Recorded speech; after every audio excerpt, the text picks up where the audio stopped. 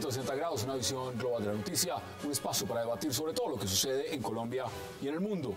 Hoy arrancamos debatiendo en 360 sobre la conmemoración en Colombia del Día de las Víctimas del cruento conflicto armado, una violencia que según fuentes oficiales ha dejado más de 6 millones de afectados, de los cuales al menos 5 millones son desplazados.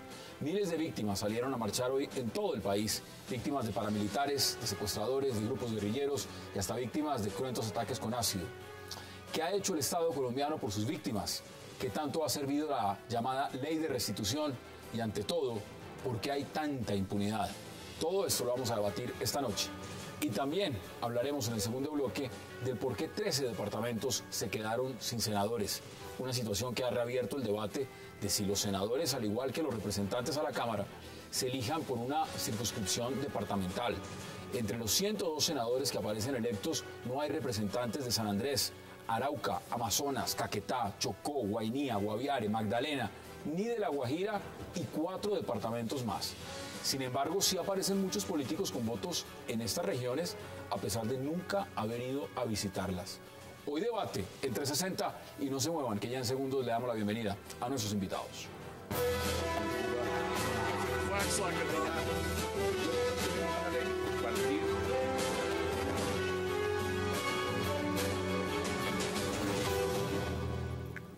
Y qué gusto dar la bienvenida en 360 a Frederic Macé, a Ervin Hoyos y a los congresistas Iván Cepeda y John Sudarsky. Caballeros, qué placer y gracias a todos por aceptar esta invitación. Gracias. Congresista, representante, ya senador electo, ¿no? Muchas gracias, sí. ¿Cómo puede uno plasmar la realidad en Colombia cuando se habla de más de 6 millones de víctimas de un, de un conflicto armado? Mire, las comparaciones son odiosas y jamás se deben de hacer, pero uno ve lo que pasa en Chile. En Chile con la dictadura estaba, el gobierno reconoce 40 mil víctimas. En Argentina se habla de 35 mil víctimas, dependiendo de, los aspectos. En Colombia, 6.2 millones más o menos y sigue contando. ¿De qué magnitud es la tragedia en Colombia? Bueno, es el país que tiene en el hemisferio occidental el mayor número de víctimas y tiene un conflicto armado de décadas, de medio siglo. Esa es una realidad que ha provocado que de esas millones de personas, eh, muchas estén en la miseria. Es decir, no solamente se trata de, eh, digamos, daños eh, físicos o psicológicos a las personas, sino también de una realidad social y política que ha desfigurado totalmente nuestra sociedad, las grandes ciudades y también el mundo rural, donde está concentrada seis de cada diez víctimas. Así que tenemos una realidad social que está atravesada por esa masa gigantesca de personas que muchas de ellas viven de manera nómada y que eh, no tienen, a mi modo de ver, a pesar de la existencia de algunas leyes y alguna institucionalidad, ningún tipo de respaldo por parte del Estado. Esas leyes, Erwin, eh, cuando uno las ve, pues, por supuesto son un avance, la ley de víctimas, la ley de restitución de tierras, son un avance. Sin embargo, hay críticas también a su implementación. ¿Cómo ve usted el proceso de las víctimas en Colombia y lo que se está viviendo? Y repito la cifra, más de 6 millones de víctimas. Pues por primera vez en estos 50 años, por primera vez eh, se ha tomado el Estado el papel que debió asumir desde hace muchísimo tiempo en apersonarse y crear una política de Estado en torno a las víctimas.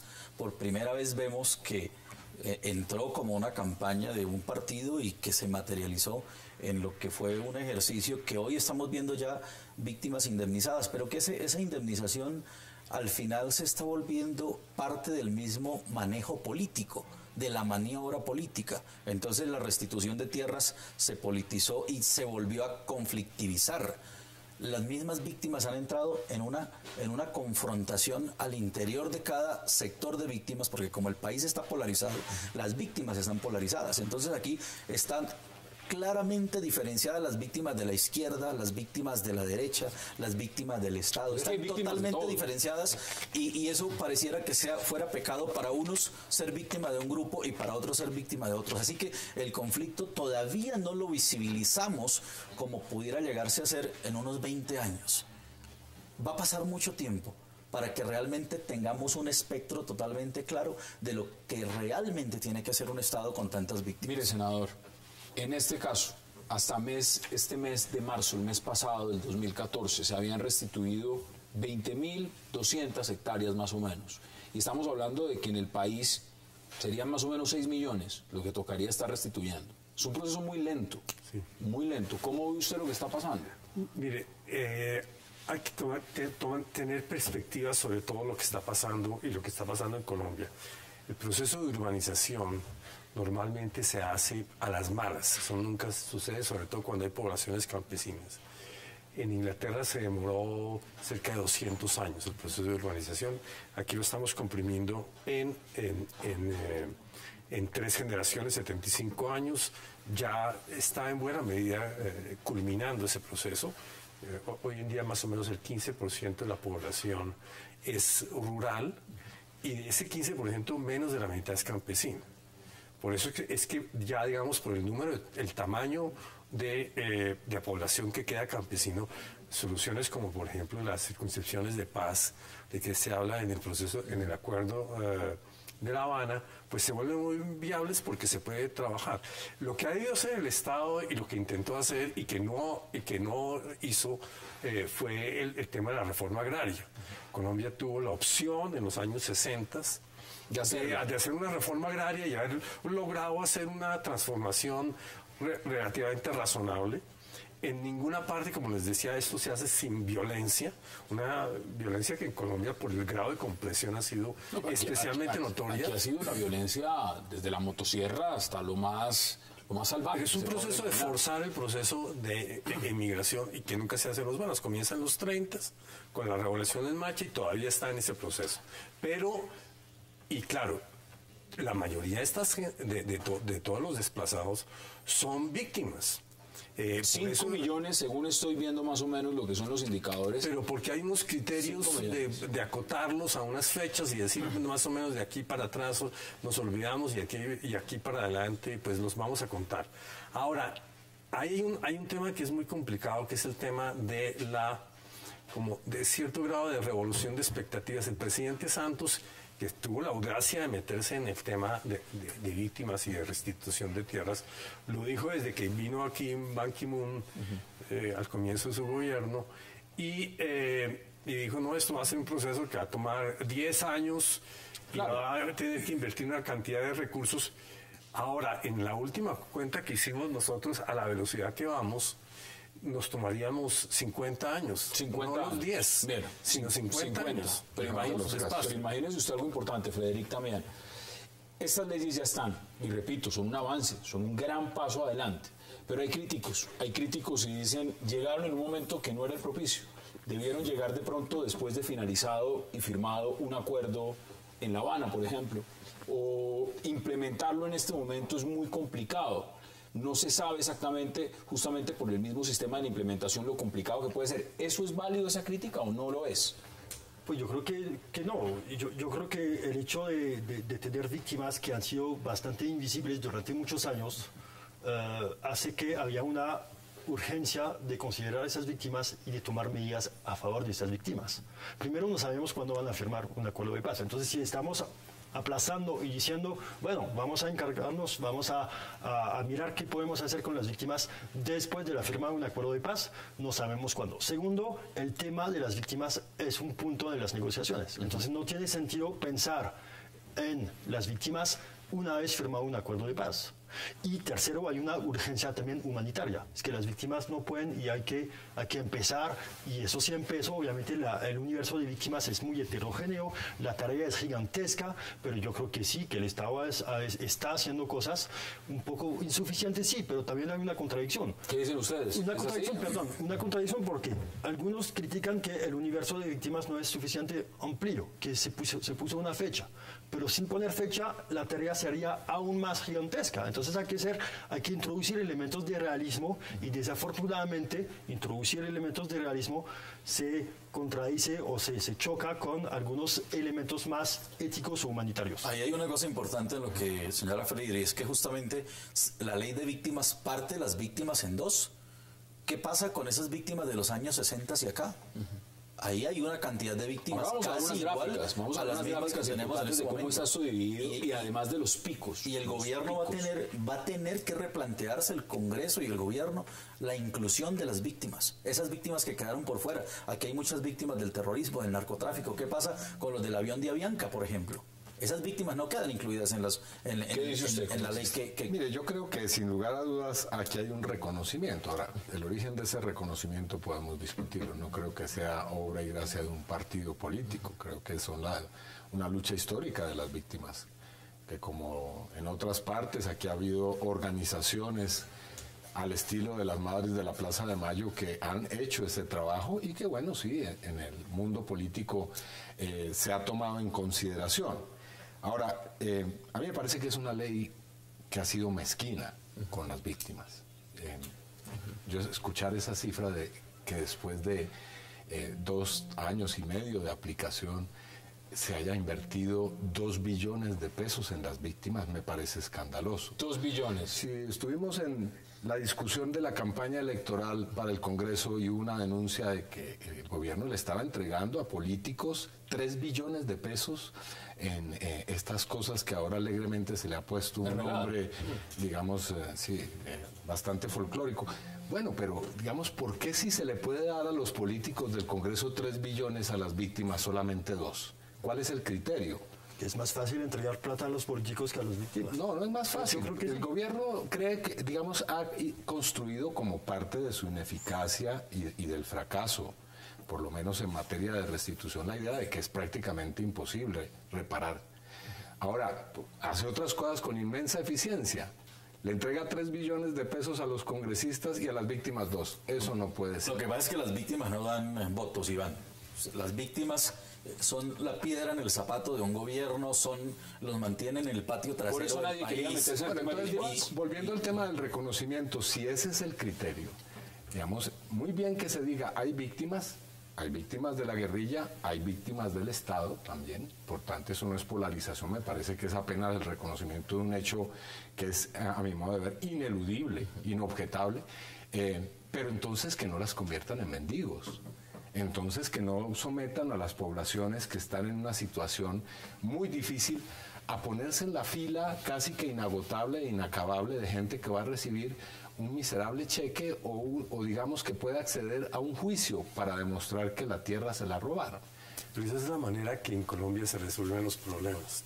Cuando, cuando salió esta ley de dictas, puro al comienzo, eh, yo me acuerdo que decían, bueno, lo que, lo que van a hacer a las víctimas, en vez de tenerlas allá arrinconadas, la van a tener metidas en los juzgados y metidas en lo- con los abogados y con todo lo demás, que es la manera como que en Colombia se resuelven los temas. Acá hay un problema de movilidad y sacan el pico y placa. Sí, y, eh, hay ataques con ácido y quedan la línea 155. Sí, entonces, entonces ¿cómo resuelven? digámoslo así, eh, de nuevo caemos en el, eh, eh, digamos, esa es la manera como se resuelven los problemas en Colombia, que usted queda enredado en una maraña.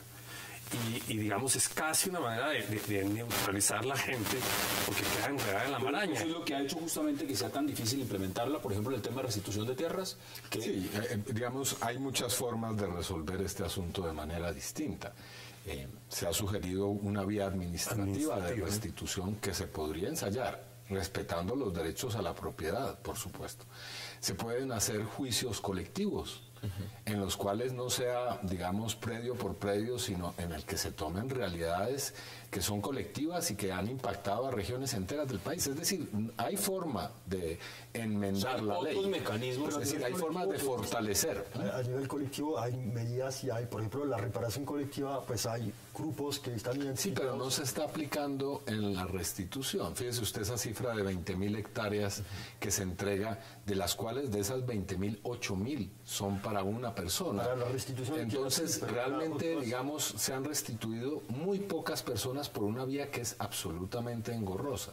Ahora, se podría ensayar, como se ha ensayado en otras partes, buscar mecanismos mucho más eficaces por la vía judicial y también aplicar la vía administrativa. Esa podría ser, y esa fue una discusión que hubo en el Congreso, eh, el, el senador eh, Luis Carlos Avellaneda planteó en su momento una vía de restitución administrativa de las tierras que puede subsanar ese mundo. Ese vacío que digamos, está Es como es posible que en Colombia los ganaderos tengan 38 millones de hectáreas y gente que, digamos, vive en las ciudades esté sin, digamos, un centímetro de tierra. Muchos critican además que varias de las hectáreas no tienen ni una vaca. Sí, e-, esa es una realidad. Digamos, eso es una de las realidades que son monstruosas que ha dejado este conflicto armado en Colombia. Miren, vamos a nuestra primera pausa porque vamos a seguir hablando del tema de las víctimas. Hoy se conmemora ese día en Colombia y hay varios temas todavía que no hemos tocado. Vamos a la pausa entre 60 y ya regresamos.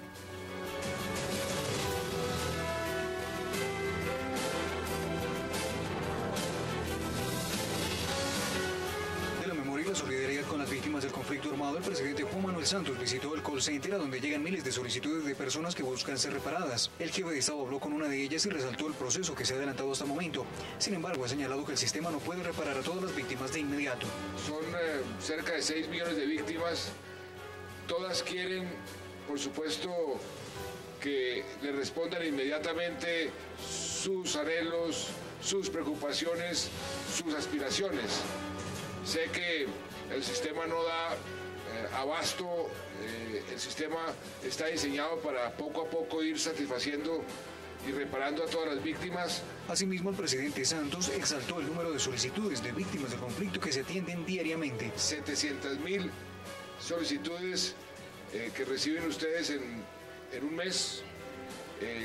eso es una cantidad monumental de solicitudes y ya han respondido 14 millones de solicitudes. El mandatario señaló que el llegar a la paz es otra manera de reparar a las víctimas en el país. La mejor forma de ayudar a las víctimas, y esto también no me canso de repetirlo, es lograr la paz, para que precisamente no haya más víctimas. Desde la mañana el presidente Juan Manuel Santos había manifestado que el reparar las víctimas era una forma de cicatrizar las heridas. Empezamos, Senador, Mire lo que pasa, por ejemplo, en el día que se está conmemorando esto. Día de las Víctimas en Colombia asesinan al señor Jesús Adán Quinto en el Chocó. Eso es lo que pasa acá. El día que normalmente alguien que ha luchado justamente por las personas desplazadas de una comunidad en el Chocó, ese mismo día lo asesina. Parecer el esquema de seguridad no se aplicó, no funcionó, no llegó, pero realmente el señor está muerto. Y así son muchos los casos. Eh, eh, han lanzado granadas contra vehículos en Tumaco, la violencia sigue. Lo que está pasando en La Habana, pues evidentemente muchos se preguntaban en un inicio si el tema de las víctimas va a tratarse al final, en qué momento se va a tratar, porque son los temas puntuales más importantes del acuerdo. ¿Cómo ve usted ese elemento? Porque es también uno de los puntos fundamentales dentro de lo que significa el, macro de cómo se puede resolver la situación de las víctimas en Colombia. No, eso va a tomar mucho tiempo, van a quedarse mucha gente por fuera, pero el problema yo creo fundamental es que no se sigan generando. No se sigan generando y eso está muy enmarcado dentro del proceso de paz, de lo que están negociando en La Habana y lo que venga en el posconflicto. Porque las causas eh, originales de la violencia y los actores de la violencia eh, están igual de vivos. Mientras usted está hablando, yo le voy a pedir a producción que nos vuelva a poner un gráfico que nos puso al, inicio para que lo podamos analizar. Es muy interesante ver ese gráfico que nos muestra un pico, un pico por lo menos en los tiempos de lapsos. Eh, voy a tratar de describírselos a ustedes acá, los televidentes lo ven mucho más ampliado. Lo que nos muestra ese gráfico es el número, por lo menos la cantidad, el número de víctimas por año, desde un periodo, desde 1985 al 2014. Y ese pico, el punto más alto que vemos ahí, es en el año 2001-2002. Si uno empieza a bajar, se da más o menos cuenta el proceso del Caguán.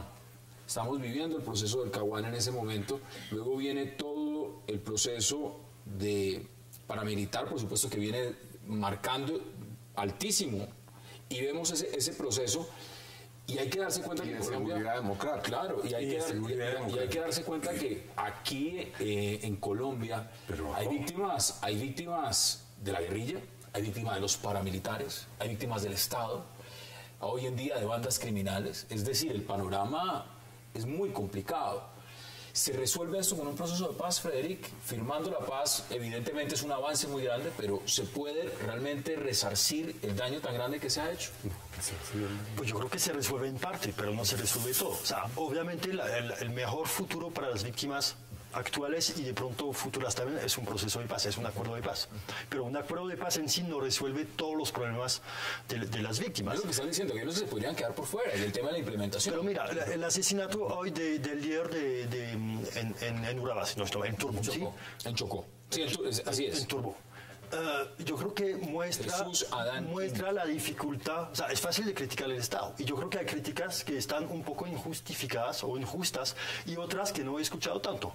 ¿Cuáles son las que me parecen un poco injustas? O sea, precisamente estamos tratando, o el Estado está tratando de reparar a las víctimas en medio de un conflicto, y eso no es fácil. ¿sí? Entonces asesinan a líderes, a veces hay problemas de seguridad que no facilitan el retorno, no se puede retornar a la población porque no están las condiciones eh, de seguridad, a veces hay problemas jurídicos, a veces hay otro tipo de problemas. Entonces yo creo que hay una cantidad de problemas que dificultan la implementación de las medidas que están adoptadas. Ahora, el problema también, y yo creo que la crítica que no se escucha tanto, es que adentro del mismo Estado hay algunas mecánicas que dificultan la implementación de esas, o sea, problemas internos, burocráticos entre algunas entidades o dentro de las entidades pero, que dificultan. pero la parte esencial de la dificultad del Estado tiene que ver con que el Estado no, eh, está capturado por los políticos, los puestos de restitución, cada uno de ellos uno que piensa que son unas personas profesionales, no, todos son fichas que se entregan. Entonces, la capacidad del de gobierno de movilizar el Estado para esto ha sido entregada ha sido entregada completamente a los políticos y los políticos se vuelven, trabajan para sus intereses, no para los intereses de... Eh, los funcionarios de, la unidad de víctimas no son políticos. Yo, yo vuelvo a, la pregunta inicial, es decir, por supuesto que hay que acabar con el conflicto armado. Claro. Decíamos, una sociedad que tiene medio siglo de conflicto y sigue produciendo víctimas, obviamente en algún momento debe primar la sensatez. Y fíjese usted que en ese gráfico que nos estaban mostrando, en los dos gobiernos que, eh, digamos, promovieron la idea de que la vía militar era eh, mediante la cual se iba a acabar con el conflicto, dejaron semejante baño de sangre en Colombia desde el año 2001-2002. El presidente Uribe recibió el país con 2 millones de desplazados y nos lo entregó con 4 millones de desplazados, es decir, duplicó el número de desplazados. Pero, creo que el pico eh, no, me parece justo, porque me parece el, el pico se dio durante el proceso del Caguán, cuando la FARC aprovechó ese... pero, no, no, pero, perdón, pero, perdón, es que digamos... 4 millones de desplazados... Bajó, bajó, el presidente Uribe ahí sale, duplicó, la duplicó el número de desplazados en Colombia. Eso es una realidad. Eh, y son cifras de su gobierno. Sí, sí, sí. pero... Dos millones de desplazados más después de la seguridad democrática no creo que demuestre que la vía que aplicó entregó el resultado que se buscaba. Entonces, simplemente para finalizar con esto, por supuesto que hay que hacer la paz y la paz tiene que venir con dos reformas esenciales. Una, que es la que ha mencionado el senador Sudarsky, tiene que haber un mínimo principio de distribución de la tierra en el país y segundo, una civilización política y creo que ese tipo de situación es la que puede variar un poco el panorama en este país. Sí. Un tema importante, mire, cuando uno vuelve a la gráfica, la gráfica es muy descriptiva y ahorita vamos a ver las siguientes porque no solamente es el tipo el, tema del desplazamiento, son muchos más. Si uno ve el pico máximo es el año 2002, 2001, 2002. Transición. transición. Uno se pregunta también lo siguiente, el tema del desplazamiento, gran culpa se han eh, dado a los grupos paramilitares las FARC son culpables también del desplazamiento, Erwin. Eh, porque eh, todo es que todo actor armado genera desplazamiento, porque es que es una estrategia. Eso no, es eso no lo inventaron las FARC, no se lo inventó el ELN. Eso es una técnica de guerra desde hace muchísimos años. Leámonos el arte de la guerra de Sun Tzu. Si usted quiere entender de guerra, ataque a la parte más vulnerable de la población, de la sociedad. ¿Y quiénes son esos? Los campesinos, la gente de los pueblos. Cuando se vulnera, cuando se ataca a esa parte, la guerra genera un impacto que, que vulnera la estructura del Estado. Entonces, un grupo armado, para ganar la guerra, debilita más al Estado cuando ataca a la población civil. Y esa es una estrategia, eso, eso no se lo inventaron ellos, eso ya está escrito y lo han puesto en práctica en Colombia. la, la, prueba de esto es que para esa época, cuando vemos ese pico, había en poder o con influencia directa de la guerrilla en Colombia 425 municipios en donde no había presencia de la policía, no había presencia de Estado. Estado. No había presencia de Estado. ¿Y qué hubiera pasado con el pico si no entra una, una estrategia de Uribe? Porque ese era el temor. En un momento dado, el famoso tema que usted no podía salir de Bogotá y que aún en Bogotá se, sienta, se sentían. Entonces, eso, lo que se vio, ese pico, quién sabe dónde hubiera llegado. ¿No? Le voy a dar datos pero no, digamos, eh, pongámonos de acuerdo en esto. El gobierno, los dos gobiernos del expresidente Uribe fueron gobiernos donde hubo amplias violaciones de derechos humanos. Claro. Y aparecieron nuevas formas de violaciones de derechos humanos que la sociedad colombiana no conocía. Ahora, ¿por qué es así? Porque precisamente la fórmula que se aplicó es vamos a arrasar, vamos a acabar con el enemigo, no importa qué métodos vamos a utilizar.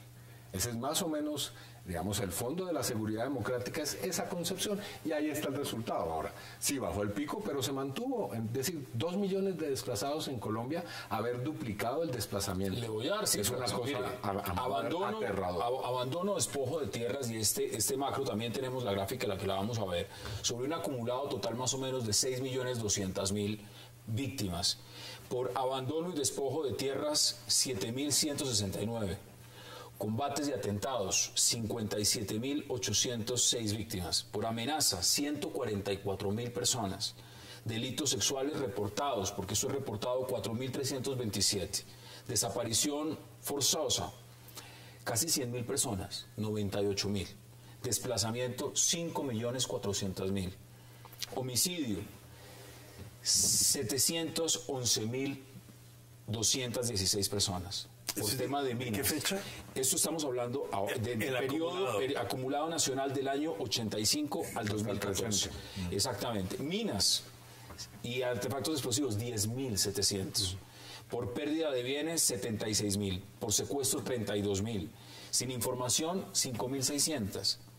Por tortura casi 7.000 casos y reclutamiento de menores casi 7.000 casos. Por ahí estamos hablando, o sea, una cosa son las víctimas, otra cosa son las políticas del Estado o de los gobiernos a favor de las víctimas. Y la realidad es que durante muchos años no hubo una política diseñada, coherente, eficiente a favor de las víctimas. Entonces, obviamente, cuando se sale la ley de víctimas, hay un acumulativo o hay, un, hay, un, sí, hay, hay, una cosa del pasado que, que, que es muy difícil de, de, recuperar. Entonces, yo creo que hay que dar tiempo, hay que mirar cómo se puede mejorar y yo creo que las mejoras o el mejoramiento que se puede hacer también tiene que ver con las, las la maquinaria interna. O sea, no es solamente un problema de, falta de voluntad política, porque yo no creo que haya falta de voluntad política. Sí que puede que se pueda hacer más, sí, siempre se puede hacer más. Pero cómo no, cómo, digamos, cómo no hay, digamos, eh, cómo, cómo hay voluntad política cuando uno evidencia la debilidad de los mecanismos. Es decir, ¿por qué a las víctimas se le otorga ese tipo de presupuesto?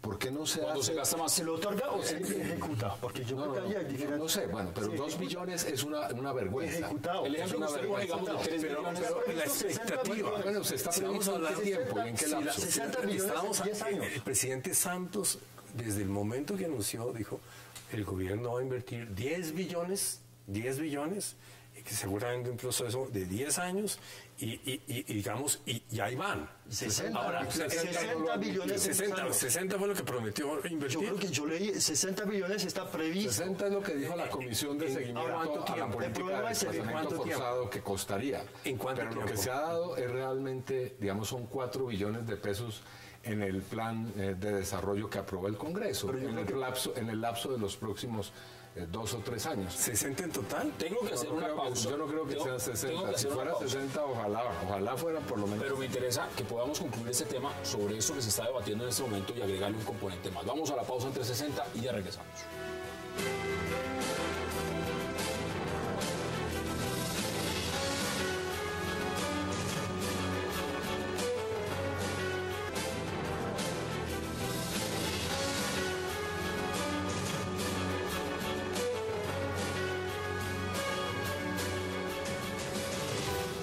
Regresamos 360 conmemorando el Día de las Víctimas en Colombia. 6.2 millones según el estimado en un lapso de tiempo, algo impresionante para cualquier país, para cualquier país. Algo que, que no nos deja bien parados y que deja muchos interrogantes. Ustedes estaban debatiendo y empiezo a concluir este tema con ustedes sobre algo importante y es lo del presupuesto. Si son 60 billones, si se fueron dos, si son más, y sobre el tiempo realmente si esa cantidad de dinero en un lapso de tiempo puede llegar a, solucionar o, solventar el problema en algo. Usted decía no, es decir, el, el, presupuesto es lamentable. Lo que está en el Plan Nacional de Desarrollo es realmente mezquino para las víctimas. Pero digo, en ese eh, campo es donde tal vez le va mejor al gobierno, en el de la reparación administrativa. El problema más grave radica en la restitución de tierras. Es allí donde la ley va a fracasar estruendosamente. ¿Cómo está concebida en este momento si no se está concebida si no hay una modificación de sus mecanismos? Y yo creo que es posible pensar esos mecanismos sin afectar y sin incurrir en arbitrariedades contra eventuales propietarios de buena fe. Sus conclusiones. Es claro que en Colombia el poder está ostentado en la tenencia de la tierra. Y el poder es el que llega finalmente al poder político. Ese poder económico es el que ostenta el poder político. No se ha podido hacer una reforma en Colombia porque el mismo, los mismos congresistas no se van a hacer el harakiri cuando hayan estado los más grandes terratenientes del país en la historia. Entonces va a ser muy difícil que ellos lo admitan va a ser muy difícil que ellos acepten que esas tenencias de tierras van a un día a caer en manos de, personas que, nunca la han tenido y ellos ceder eso. O sea, aquí hay un, problema de, cesión de poder. Y, y, el poder político no está dispuesto a cederlo. ¿Cuál es la cantidad de tierra? Porque es un dato interesante. Puede tener alguien en Colombia. Bueno, primer asunto que no tenemos un censo. No hay un censo de que nos pueda decir quién tiene qué, pero hay informaciones sobre, por ejemplo, el señor Víctor Carranza que se decía tenía un millón de hectáreas o de, otros señores en la costa atlántica que han llegado a tener 500 mil, 400 mil hectáreas, lo cual es realmente una cantidad, es decir, es como ser dueño de comarcas, de países enteros, eh, de pequeños países en Centroamérica. Mire, hay un dato especial, el 13%, ojo, el 13% de la población en Colombia es dueña del 78% de la tierra productiva. El 13%, dueño del 78% de la tierra productiva. Y hay, un punto, hay un punto que hay que entender porque nosotros seguimos pensando ruralmente cuando el país es urbano. Ese país es urbano y los problemas de seguridad uno puede tenerlos, digamos, en, en, el campo, en todo lo demás, pero digamos, problemas de seguridad graves, Cali. ¿No? Cali, digamos, el tema. Entonces, eh, yo creo que el tema de seguridad, falta de criminalización, eh, violencia, todo lo demás, tiene focos urbanos fuertísimos, gigantescos. Eh, ahora, como todos digamos, tenemos un abuelo campesino, un papá campesino, o, un, o, todavía, todavía todo el mundo sigue pensando, pero era Gustavo Petro que decía, un metro cuadrado de, oficinas en Bogotá vale lo mismo que como 10 hectáreas en, los llanos. Usted en, una época. Se encuentra un metro cuadrado en Bogotá, para los que nos ven en señal internacional, si lo ponemos en dólares, es al mismo precio de una de estar en la en, Quinta Masada, en Quinta Avenida de Nueva York. Pero, entonces, pero la, la oportunidad interesante que ahora es que con, ya con un, nivel de población relativamente bajo, estamos hablando seguramente de siete y medio millones de, de, eh, habitantes del campo y la mitad campesinos, usted podría realmente ahora sí eh, dedicarse a que esa, eh, la, aquellas personas que escojan un estilo de vida campesino, eh, puedan sobrevivir con tecnología y todo lo demás. Y por eso es tan esperanzador las ideas de, que se están negociando en La Habana, porque usted va a poder tener esas circuncepciones de paz y entonces, digamos, eh, tres o cuatro millones de colombianos vivirían en el campo tranquilos produciendo. Hay la tierra para distribuir La tierra, pero el problema no, es la tierra, no es, no es el, elemento de la tierra, sino la capacidad de ponerla a producir. Por supuesto. Y, y en eso hay enormes dificultades. Y sobre todo, para mí la fundamental es que quien administra la relación con, con el campo son los victimarios del campo. ¿Cuáles son sus conclusiones? No, yo creo que en cualquier, Frente a lo que está diciendo aquí el senador Sudar. en cualquier proceso de paz, cuando uno habla de redistribución de, de tierras, hay diferentes enfoques. Y el problema es que esos enfoques chocan.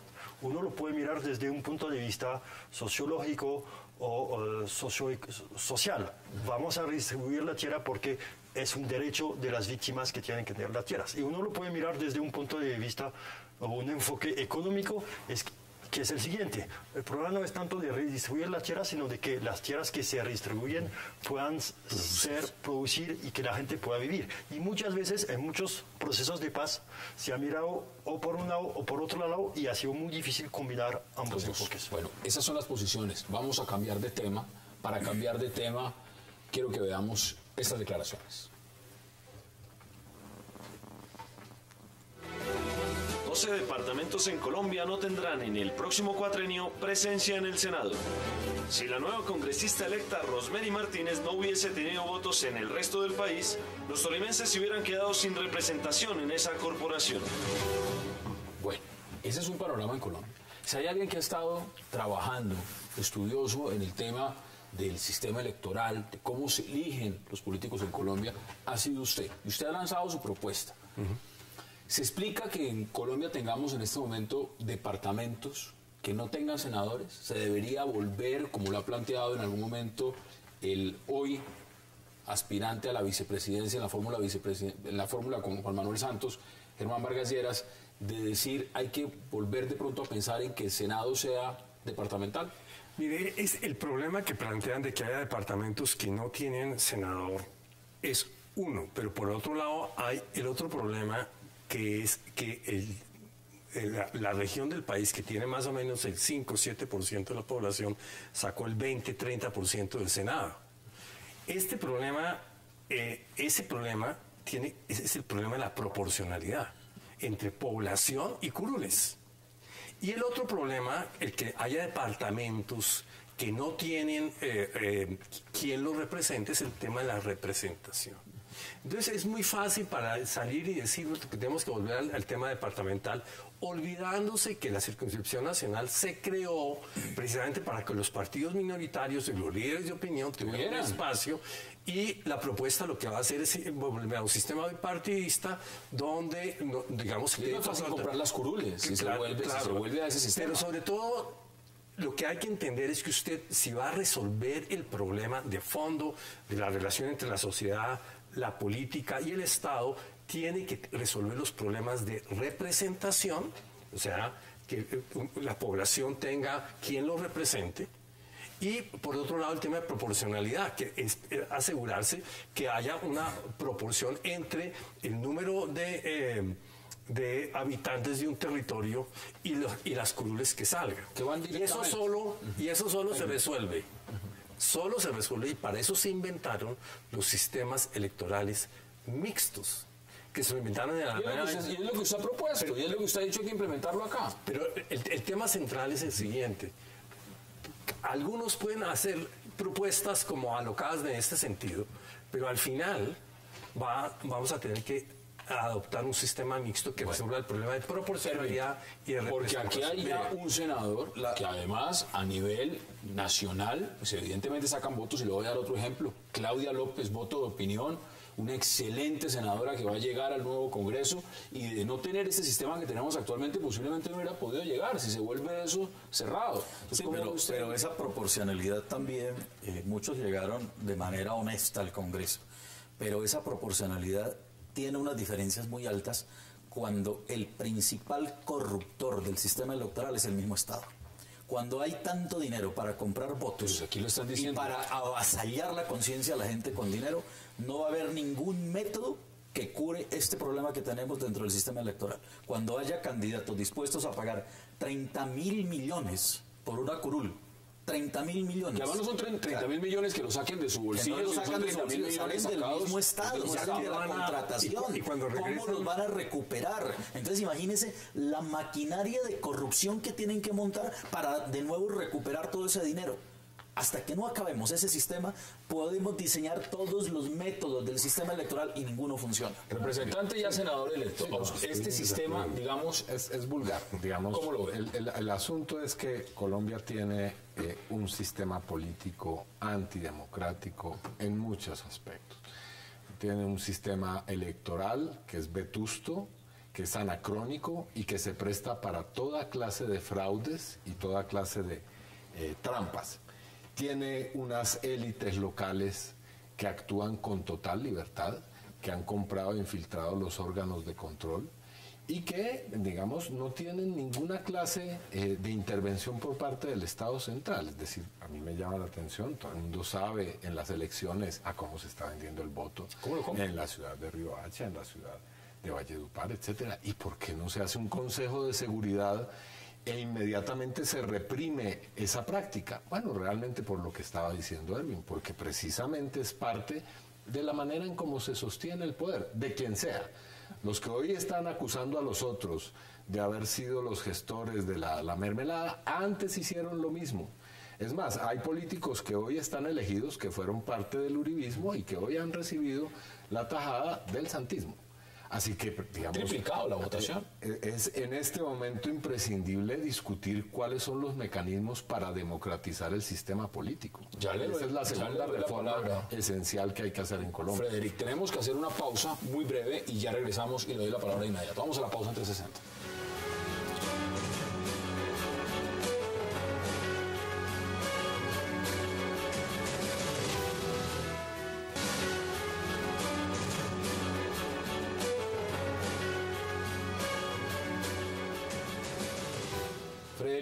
A este tema, algunos se preguntan, bueno, si hay departamentos que no tienen senadores, ¿quién entonces va a gestionar por esos departamentos? Entonces, lo más fácil es decir por los representantes de la Cámara.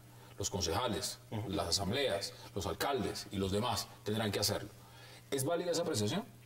Te, ¿O no? te lo planteo de, la otra manera. Si tenemos un Senado elegido según los departamentos, ¿para qué sirve la Cámara?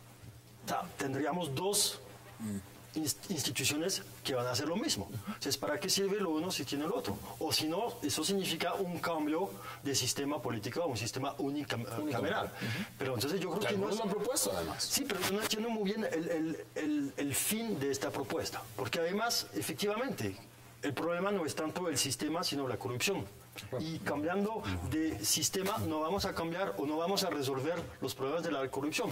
Y un sistema u otro... Totalmente en desacuerdo. Pero la, la pregunta que yo haría es, eh, ¿por qué los políticos tienen que gestionar los recursos de sus departamentos? Es decir, ¿por qué dentro de las funciones de un congresista que tiene que ejercer control político, es decir, debe ser el ojo de los ciudadanos para ver dónde están las ineficiencias, los problemas del Estado y legislar? ¿Por qué eso se tiene que convertir en una especie de vector de en dónde se invierte? Esa es una función que yo creo debería ser estrictamente prohibida a los congresistas. El congresista no es un tramitador de recursos, Es un porque en ese trámite termina siendo, digamos, parte del poder que es corruptor en sí mismo. ¿Qué dice usted? Mire, el, el tema que hay que resolver es que los ciudadanos sepan quién es su representante y lo puedan llamar a cuentas. Si hay esa- e- e- ese mecanismo, digamos, el tema de la mermelada podría ser totalmente legítimo. Si el señor Musa va y gestiona no sé cuántos miles de millones y y lo- los ciudadanos de su territorio agradecidos. no, consideran que eso es lo que ellos querían. Porque lo, que sucede más, muy a menudo es que le hacen una obra que no es lo que querían. ¿eh? Y, de- alguien me decía que la plata de las, de las regalías en Barranquilla están dedicadas para el puerto y no para lo que la gente quiere, que necesitan salud, educación, no sé qué y tal y tal. Entonces, eh, hay que darle la vuelta a esto y es que es legítimo y es legítimo en todas partes del mundo que un, que un senador y un representante busque beneficiar a la población que representa, pero si él no sabe quién representa, ni esa población lo llama a cuentas, entonces... Le doy un ejemplo. En Estados Unidos, cualquier estado, Claro. en un condado, usted va y vota por uno específico y representa ese Distrito electoral. Distrito electoral representa es, esa población. Sí. Y es más efectivo ese sistema entonces. es más efectivo en el sentido que la gente sabe quién lo representa y lo puede llamar a cuenta. Y lo puede castigar en las siguientes elecciones. Eh, claro, Directamente, no, si usted no, pero, usted no tiene, cumplió, pero tiene los problemas de que son sistemas que, que se tornan bipartidistas, porque, porque en cada uno de esos territorios ganan los dos, dos partidos que existen, que es lo que pasaría con el Senado de esa Pero, forma. Pero, pero, senadores, ¿en, para- en qué parte de la ley quinta dice que el congresista tiene entre sus funciones ser un gestor de recursos públicos? Eso no está consignado. La función del congresista es legislar, hacer control político y hacer control público. Para eso han sido elegidos o hemos sido elegidos los congresistas, no para estar detrás de los ministros. De presupuesto. ¿no? Y decirles, bueno, cuánto nos va a tocar aquí y cuándo me toca a mí. Y cómo se lo voy a entregar yo a la gente que me va a garantizar mi reelección. Ese es el problema. Yo estoy de acuerdo. Sí, ahí ahí el, el tema está, hay que verle la bisagra al problema y está justamente en la asignación del recurso. Cuando el congresista se mete en la repartición del dinero que no le corresponde, como lo señala Iván, no le corresponde. Es que eso tiene que haber un Estado contratante. El contratante es el Estado. Pero en este caso, veía yo hace eh, pocos días en Arauca cómo los contratistas, ojo a esto, los contratistas en Arauca ya le adelantaron a los políticos 10 mil millones para la campaña porque saben que el contrato les va a llegar a ellos. si eligen a esos congresistas, Es que, ¿no? es que Es que hay, niveles, claro. un- niveles de abstracción que hay que te- tener en este caso. Y es, digamos, el, el- el sistema actual se quedó como en la mitad. O, o que- que queremos que todos sigan representando el bien común, como está en la Constitución del 86, y todo lo demás se considera como de mal gusto. O los congresistas asumen el tema, pero lo hacen de manera transparente y pública. Pero ante perdón, los perdón, electores. senador, un senador es para legislar. Las leyes no son para un departamento específico. Perdón, una ley es para el país. Entonces, ¿por qué vamos a aún, tener es una... decir, el perdón, ¿por qué congresista debe ser un, un veedor ciudadano. Es decir, no puede estar metiéndole la mano a cosas que él tiene que hacerle el control, por supuesto. Y, y- y las Es- leyes son a nivel nacional. Si un, si un senador es para proponer, perdón, si un senador es para proponer y hacer votar leyes, ¿sí? La ley es para el- la nación, para el país, no es para la ciudad de Barranquilla o el departamento. Pero si- de- pero si y hay una cámara de representantes. Si usted representa clara y públicamente 800 mil personas de un territorio, Usted trabaja para esos 800 mil. le trabaja para ellos, tiene que rendirle cuentas y cada vez que él tome una decisión sabe que lo van a estar observando y le van a decir, eso que está haciendo es a favor. ¿Por qué o no lo contra". pueden hacer a nivel nacional? Sí, un pero- senador representa 800 mil votos del país y el país lo está mirando y mirando lo Porque que va no a hacer. está diseñado para que sepa, los ciudadanos no saben ni siquiera quién eligen. Los ciudadanos no pueden identificar. ¿Cómo a así que quiénes no son- saben si yo voto es que por no- no- tal? Yo sé. Las estadísticas que tenemos nosotros de que la gente no sabe. El tarjetón está diseñado para que usted vote y al final no sepa qué salió. Entonces comemos el tarjetón, pero no Ah, todo el el sistema. pero Es que- todo el sistema. Es que el problema es que la gente quiere que... Eso fue lo que hizo el registrador. Cambiar el tarjetón y el número, la abstención, el número de votos anulados, el número de votos no marcados fue exactamente igual. Estoy de acuerdo que hay un problema, pero la solución no me parece No, la que se Yo creo que aquí lo que hay que cambiar es el modelo. El modelo de un Estado corruptor. El Estado es el que le paga a ese senador que le compra la idea para crearle una bancada, le da un dinero representado en contratos en donde de ahí salen todas las Eso ha tenido distintos El nombres, auxilios, Claro, eso ha tenido todos los nombres. El día que se cambie esa figura, que un senador no le tenga por qué meter la mano al presupuesto y que se encargue de ejecutar y de legislar, ese día se cambia ese sistema. De lo contrario, vamos a seguir en las mismas. ¿Cuáles son sus conclusiones? Porque le voy a dar más o menos este dato que lo di al inicio, pero es importante tenerlo claro. De los 102 senadores que aparecen electos, no hay representantes hoy, senadores, ni por San Andrés, ni por Arauca, ni por Amazonas, ni por Caquetá, ni por Chocó, ni por Guainía, ni por Guaviare, Putumayo, Quindío, Baupés, Bichada, Magdalena, ni La Guajira. ¿Cuáles son sus conclusiones? Yo creo que si no tuviéramos una Cámara de Representantes sería un problema grave. Pero si cambiamos eso, lo ponemos a departamental. En cinco años la gente va a decir, ah, es que no tenemos senador que es de esta ciudad y de esta ciudad, entonces tenemos que cambiar otra vez. O sea, el sistema, si, lo, si, si vamos en esta lógica, mm, ¿dónde paramos? Después va a decir, necesitamos a alguien que represente a la ciudad, y después mi barrio, etcétera, etcétera. ¿Cuáles es- son sus conclusiones? Yo creo que en cuatro años vamos a tener gente en la cárcel, que vamos a tener un Congreso que va a pasar muy probablemente por lo que pasó aquel Congreso de la parapolítica, porque ya hay mucha votación que va a haber que revisar de una manera muy seria. Y volvemos al asunto. Se requiere una reforma que democratice el sistema, que lo haga transparente, que tenga un sistema electoral eficiente en donde quepan, por ejemplo, reformas como las que propone el senador Sudar. ¿Cuáles son sus conclusiones, senador? La conclusión es, que hay que hacer una reforma que resuelva el problema de proporcionalidad y de representación. El sistema colombiano viola completamente. El tarjetón no permite que la gente sepa por quién votó. Y eso sucedió exactamente. Lo intentar, eh, digamos, sucede exactamente lo mismo. Lo que me preocupa a mí es que de, las propuestas que se han hecho, eh, no pretenden resolver los problemas, sino que todo sigue igual, porque la, relación fundamental que hay que cambiar es la relación entre la ciudadanía y el político. Y tiene que haber una representación colectiva de entre el poder ejecutivo y el poder legislativo. Seguramente, seguramente, pero yo creo que lo fundamental es lo que yo acabo de mencionar, que la gente sepa quién es su representante y lo pueda llamar a cuentas. Tenemos que llegar a que el político le dé miedo meterle la mano a lo público. No, que debe estar, yo creo que para el congresista miedo debe estar prohibido gestionar. Entonces no hacemos Miedo le da, ese es el debate, pero, se lo, ese es el pero se lo aguanta. Ervin Hoyos, un verdadero placer como su senador John Suárez, gracias por aceptar la invitación. Frederic Macé, un placer. Gracias. Y congresista Iván Cepeda, un verdadero placer. A ustedes gracias por acompañarnos. Repetición de este programa, recuerden, 11 y 30 de la noche mañana nos vemos a la misma hora, 8 pm, para seguir debatiendo toda la agenda política de Colombia y del mundo. Gracias por acompañarnos.